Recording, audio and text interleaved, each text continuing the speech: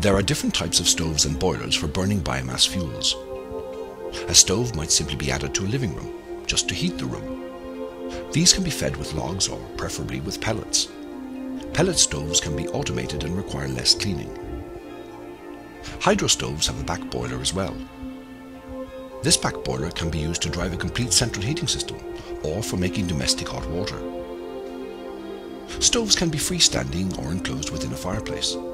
They come in a variety of styles and are very attractive. A standalone boiler can be used to run your entire central heating system. These can use logs, pellets or wood chips or any other biomass fuel. And of course, stoves and boilers can have all the modern conveniences you would expect, like timers. They can start and extinguish themselves. Some models can even be controlled by mobile phone. You can have automatic feeding systems too, so you don't even have to think about refueling. Installation should always be done by a qualified installer. Installing a stove can take as little as a few hours. Obviously, converting an entire heating system to biomass will take longer.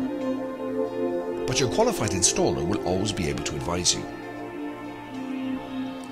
Burning biomass fuels is the clean, renewable and economic alternative. It's burning clean and burning green.